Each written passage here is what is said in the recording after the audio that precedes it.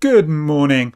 And another quick video this morning looking at Dolby Atmos. Now, I've already done a video looking at Dolby Atmos for your home cinema and how to set that up. And I'll put a link in the top right hand corner so you can click on that now if you're interested in doing that. But what I want to talk about in this video specifically is how to set up Dolby Atmos for your headphones. Now, there's a couple of things you do need to know, obviously. First off, you will need the Dolby Access app and I've already gone through in the previous video how to download that so I'm not going to go over that again here. The other thing you will need to know though is that in order to use Dolby Atmos for your headphones you will need to spend a little bit of money and there's an in-app purchase within the Dolby Access app and that's around about £12. Now it's up to you whether you think it's worthwhile or not. There is a demo though so you can try it out first. If you're not interested in Dolby Atmos, though, Microsoft have their own alternative, and we will go through that briefly in a moment. But for now, let's just go in and have a look at how you set it up. So, first off, obviously, once you've downloaded the app, you want to go into it, and you will see a screen come up, and it will be a sort of purpley pink screen, and that's the first menu you will see when you first load up the app. Now I've set everything to stereo on my system just so we can go through this as if we're starting from scratch. So the first thing you'll see is how would you like to experience Dolby Atmos? And you've got with my home theatre, which I've done in the previous video, with my headphones, which is what we're going to do now, and not now. And that would make for a very short video, so uh, we're not going to do that. So let's go in and have a look at how to set it up with my headphones. So if you press A and load that up, and you'll get this screen. And I mentioned this in my previous video, but it's worth going over again. I was a little bit confused when I first saw this because I thought you could change these settings from here, but no, you can't. What you actually will need to do is go into Xbox settings and you can load them directly from here. But for now, let's just go through what you need to do. And it says configure Xbox audio for Dolby Atmos for headphones. And it says to get started, one, in audio output settings for headset audio, set headset format to Dolby Atmos for headphones. And that's the little box in the right hand side here, the grayed out one. And it says headset format, Dolby Atmos for headphones. And that's the setting you would need.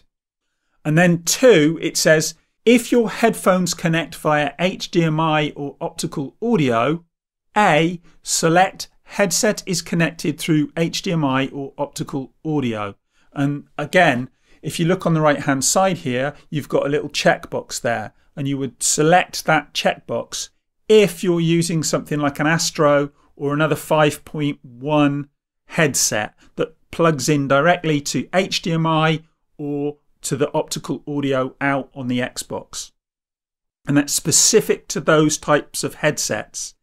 If you're just using a standard headset, one that plugs via an audio jack into your controller, then you would leave that box unchecked.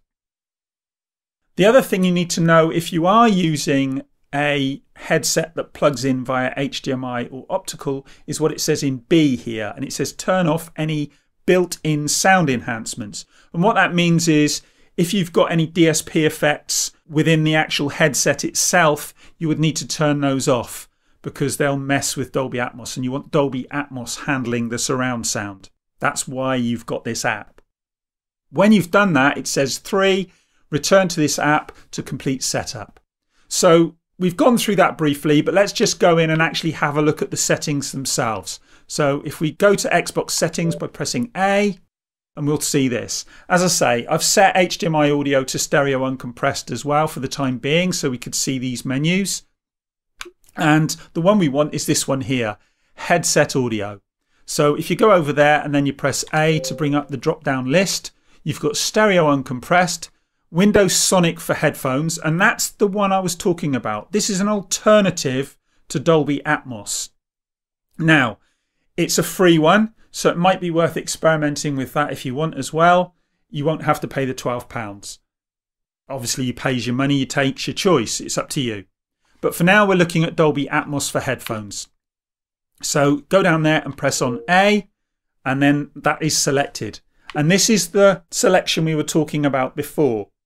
As I say, If you're using an HDMI or optical audio headset that plugs directly into the Xbox and then will usually be wireless to the headset, you would need to check this checkbox. And it says all audio is optimized for headsets right now. As you can see on the left hand side, all the options are grayed out. So nothing will be going out to your amp at this time. And it says once you unplug your headset, it'll go back to normal. Uh, it also goes back to normal if we uncheck the box. Now, as I say, if you're using a standard headset, using a, a headphone jack that plugs directly into your controller on your Xbox, you can plug that in and you can use this as is now without having to select that checkbox. That checkbox is only for if you're using those kind of fancy pants headsets that you can buy for hundreds of pounds. But that's it basically. That's how you set it. It's just two settings Dolby Atmos for headphones under headset format, and then either select or unselect using HDMI or optical audio headset, depending on the headset. And if you're using different headsets and you're experimenting with them, you might need to check or uncheck that, depending, as I say, on what you're using. But that's that. Now we can go back to Dolby Access and as you can see, we've got the menu that we had up before. So what you want to do is you go across and you click on continue. And it brings up this page. And now basically we're all set. Certainly for headphones, I'd have to go back in and set it up again for home theatre. But we've got these options now, and there's, what is it, four demos. And you can actually plug your headset in now, put it on, and then you can listen to these demos and it will basically show you what Atmos can do. And yeah, it sounds pretty good. I quite like it. I think uh, it's quite impressive actually. It it has a a kind of pseudo surround effect using stereo headphones, and it's it's pretty good. But anyway, that's how you set it up. Hopefully that was some use to you guys. I'm done. I'm gonna go and get myself a cup of tea because my voice is going, and uh, I'll speak to you in the next one. Bye.